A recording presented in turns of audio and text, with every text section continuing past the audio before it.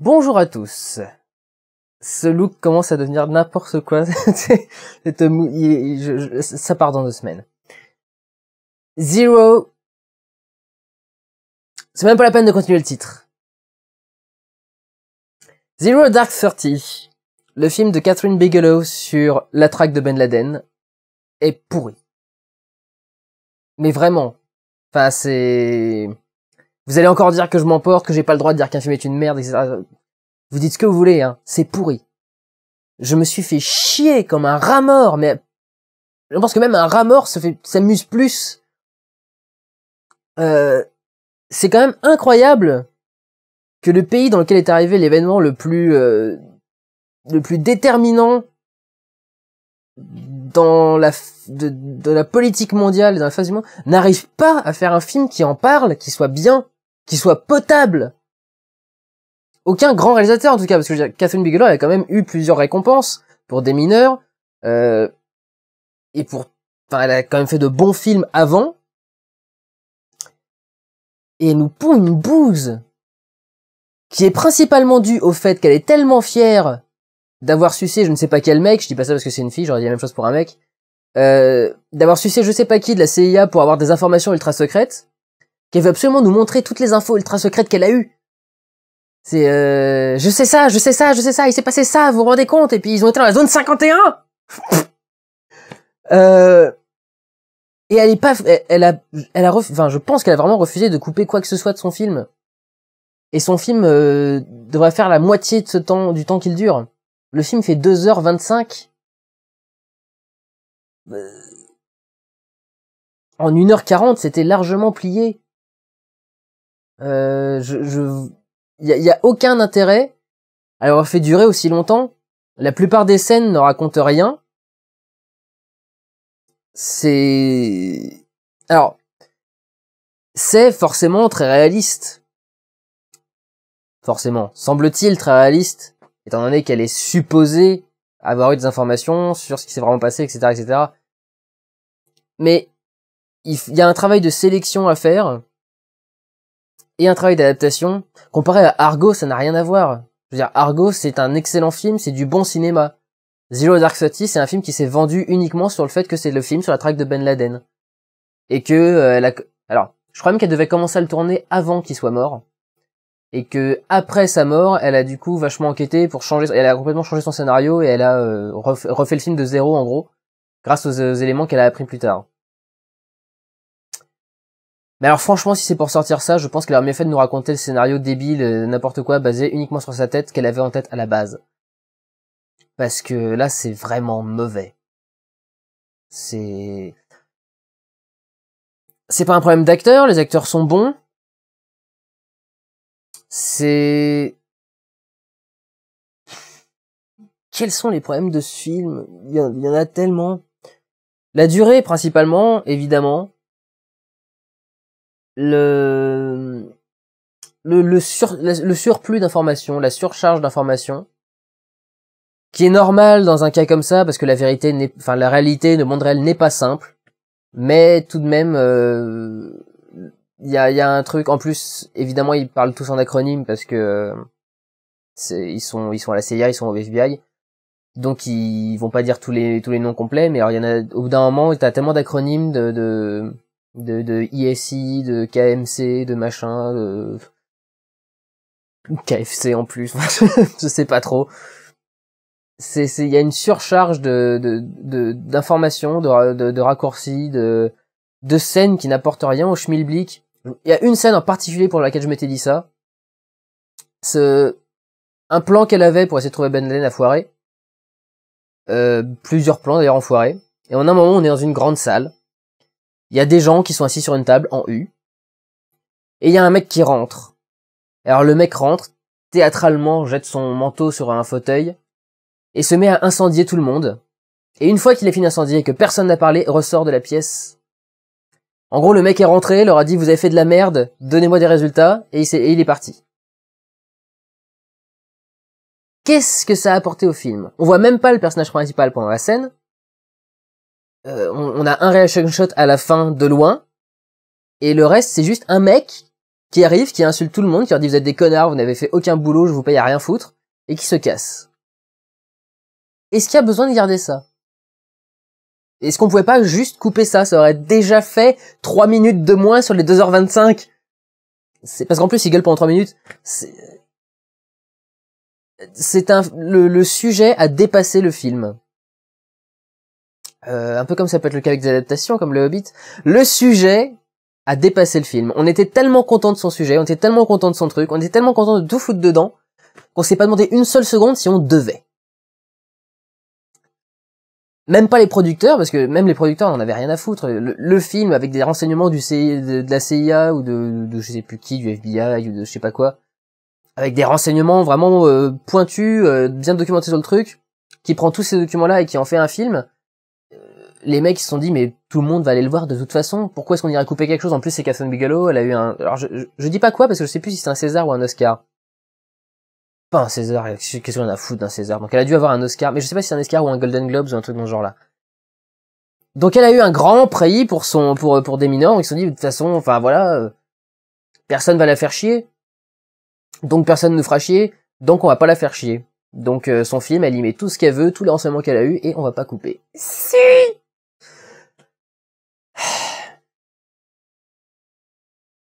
En plus, pour, enfin, pour ne rien arranger, la musique est d'une platitude extrême.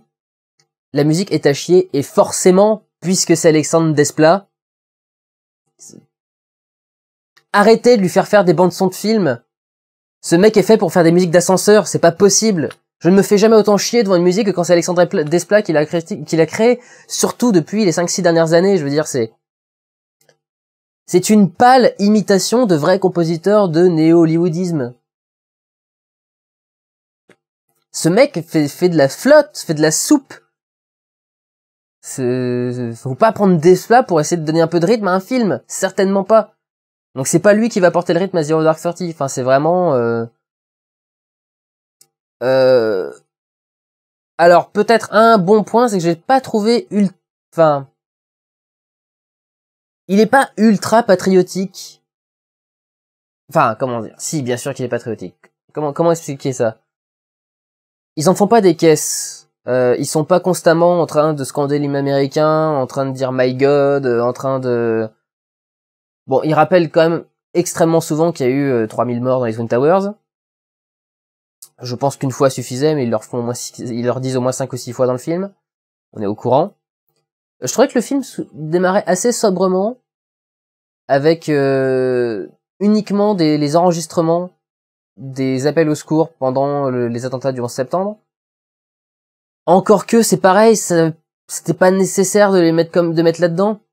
Euh, on pouvait aussi bien faire un, démarrage où on voyait euh, le patron de Jessica Chastain, que je crois qu'il s'appelle Molly dans le film, qui on aurait aussi bien pu voir ce, ce mec-là avec la télé allumée ou les infos, un journal, un truc dans le genre, qui, qui se retourne vers elle et qui lui dit bon bah je vais vous envoyer à tel pays pour faire un truc. C'était une scène d'ouverture qui marchait aussi bien et qui prenait pas autant de temps parce que là en plus ils en mettent ils en mettent trois tonnes d'appels au secours et d'appels machin. C'est fait sobrement, mais quand même. C'était pas, il y avait pas besoin de les mettre là. Enfin, je veux dire, c'est surtout que c'est pas un film sur le 11 septembre, c'est sur la traque de Ben Laden qui découle du 11 septembre, bien entendu. Mais est-ce que c'était nécessaire de remettre les appels au secours du 11 septembre pour nous rappeler que c'est lui l'ennemi? Je suis pas sûr. Euh, c'est quand même l'événement le plus marquant du, du 21e siècle. Donc, euh, il n'y avait pas forcément besoin de nous faire une piqûre de rappel au début. Euh, c'est quand même fou. Ils, World Trade Center était une daube.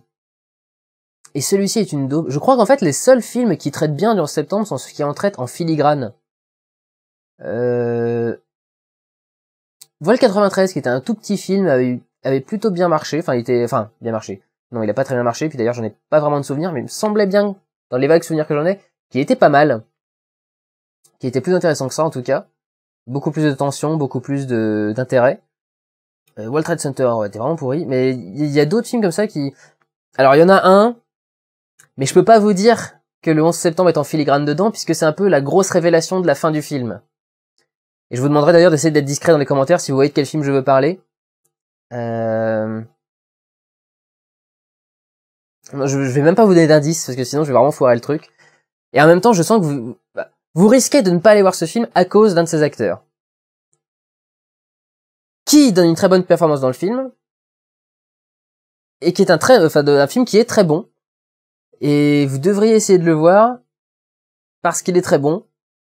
Et l'espèce de retournement final lié au 11 septembre le rend encore meilleur parce que je l'avais pas vu venir du tout. Mais, euh, mais je ne peux pas vous en dire plus. Même si je vous dis le titre du film, du coup, je vous ai dit ça finit avec le 11 septembre, donc du coup, vous allez savoir en le regardant que voilà. Donc autant qu'un jour vous tombiez par hasard sur le film et vous verrez que c'est celui-là que je parlais. Mais The Old Dark Thirty, je ne vous conseille pas d'aller le voir. Je suis très déçu Catherine Bigelow parce que j'aimais bien cette réalisatrice. Mais euh, là, vraiment, c'est un... Enfin... J'ai vu deux trois personnes sortir de la salle, mais étant donné que la salle avait beaucoup de cheveux gris, je pense que c'était juste une sonde urinaire qui avait eu un défaut. Euh, ils, ils ont pas dû partir à cause du film, mais très franchement, imaginons que ça passe à la télé, ou chose que je ne fais jamais, que je l'ai téléchargé, j'aurais zappé ou j'aurais arrêté le fichier. C'est vraiment chiant. Je, je, je, me fais chier. Et alors, tout le film amène à la scène de fin, l'intervention dans la maison de Ben Laden, dans la maison où est caché Ben Laden, qui est très bien filmé, qui est bien foutu, qui a beaucoup, qui a, de l'attention, en même temps essaie tellement de nous montrer tous les aspects de l'intervention et tous les coins du truc, pareil encore une fois, elle, sait tout ce qui s'est passé, donc il faut qu'elle mette tout. Euh, donc du coup, elle surcharge cette scène de fin de, de, de, de moments plus calmes, ou de moments où il se passe moins de choses, parce que c'est arrivé aussi, et qu'elle veut le montrer. J'ai bien aimé par contre la, la, façon dont, enfin avec laquelle euh, elle euh, elle surjoue pas l'exploit de la mort de Ben Laden. Euh, je trouvais que c'était très intéressant. Moi, je trouvais ça très intéressant de savoir qu'est-ce qui se passe dans la tête du soldat lambda qui s'est trouvé par hasard être le mec qui a poussé la porte quand Ben Laden était derrière et l'a buté. Comment est-ce que tu vis après ça? Qu'est-ce que t'en fais? Je sais même pas si on, enfin, je sais pas si on connaît le nom du mec qui l'a, qui, l'a buté. Ça se trouve, peut-être qu'on ne le sait pas d'ailleurs parce qu'il risque d'avoir quand même quelques représailles de la part de certaines personnes. Mais comment est-ce que tu vis ta vie tous les jours quand tu te dis je suis le mec qui a buté Laden Je suis le mec qui a buté l'homme le plus recherché du monde. Euh, ça aurait été assez intéressant. Ça, pour le coup, elle n'y songe pas à s'y intéresser. Elle finit le film directement après la mission, quoi. Pour moi, elle aurait mieux fait de passer plus vite sur la recherche au début et de s'intéresser un petit peu plus à ce qui s'est passé après. Je pense que ça aurait été plus intéressant que, ce que, que, de nous montrer absolument toutes les étapes pour trouver Ben Laden. Euh... Qu'est-ce que je peux dire d'autre? Au niveau de la façon de filmer, c'est assez énervant. Elle veut donner un style documentaire. Et du coup, elle, euh, elle garde une caméra qui bouge constamment y compris quand ça ne sert à rien. C'est-à-dire, par exemple, euh, un moment, il y a un mec de Al-Qaïda qui, qui veut faire croire qu'il va les aider, qui va peut-être les aider d'ailleurs, je ne vous le dis pas, et qui, pour prouver sa bonne foi, envoie une vidéo qu'il a, qu'il a, qu'il a tournée d'une réunion entre, entre plusieurs membres, plusieurs sommités d'Al-Qaïda, et on voit une caméra qui est posée comme ça dans un coin pour filmer de façon discrète. En principe, mais la caméra est tellement visible que je vois pas comment ça pourrait être discret mais qui est censé du coup filmer la réunion et envoyer ensuite une vidéo au mec. Et quand il envoie la vidéo, la vidéo bouge. Elle devait pas bouger Elle était posée là, la caméra euh, C'est un peu comme euh, épisode 50, on sait pas pourquoi la caméra bouge d'un coup et qui filme. Euh, et j'ai remarqué un autre défaut aussi. Oui, euh, énormément de défauts au niveau du son. Quand on, quand on est en école de cinéma, on nous apprend à tourner ce qu'on appelle des ambiances raccords. C'est-à-dire que quand on tourne quelque chose, on, tourne euh, la durée de la scène à peu près, donc si une scène fait 4 minutes, on en tourne 4 minutes, de son, d'ambiance. Et si jamais il y a un son qui vient parasiter la scène à un moment, genre des gouttes de pluie qui tombent ou un avion qui passe, et ben du coup on enregistre son seul pour pouvoir le remettre dans le reste de, la musique, euh, enfin du fichier pour pas que ça fasse bizarre. Et là il y a beaucoup de moments où les ambiances changent d'un coup. Euh, avec le cut, euh, un moment où on voit un mec euh, qui, qui parle, on entend de la pluie derrière, puis un seul coup on passe en contre-champ, on n'entend plus la pluie. Euh, c'est arrivé quand même trois quatre fois dans le film, des moments comme ça où des ambiances avec des réverbérations, des échos un peu bizarres étaient là et d'un seul coup au plan suivant il y en a plus. Euh, donc des gros défauts quand même. Donc Zero Dark Thirty est une vraie déception. Est un mauvais film parce que j'avais mis dans la liste des films que j'attendais, vous allez dire que c'est à cause de ça. Non, c'est une déception. C'est un c'est un mauvais film avant d'être une déception. Je ne vous conseille donc pas d'aller le voir. Prenez soin de vous, allez voir des films. Ciao